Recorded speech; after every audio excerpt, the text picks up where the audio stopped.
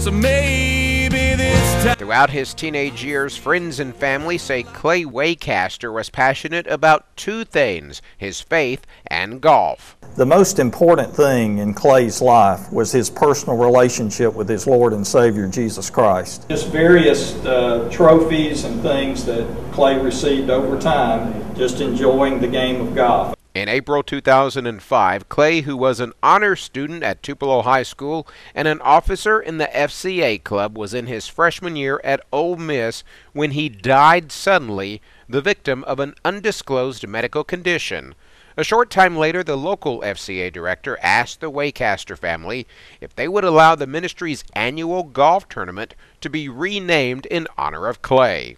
Clay just represents what a student athlete uh, that loves Jesus Christ is about.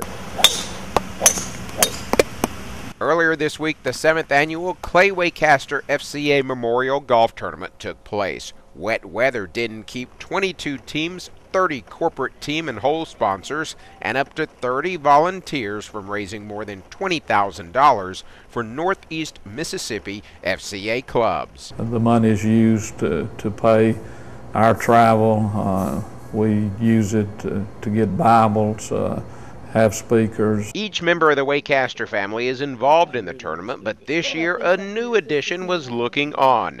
This past spring, six years to the date that Clay's life on this earth ended, his sister Jill gave birth to his nephew. They did name him Clay, and it was not her due date.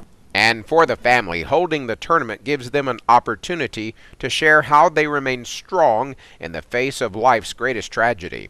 We know that it is not in our strength, but in the Lord's strength. And uh, of course, Clay, uh, witnessing this today, he's proud that uh, the FCA ministry that he was part of is continuing here in Northeast Mississippi. In Tupelo, I'm Allie Martin, WCBI News.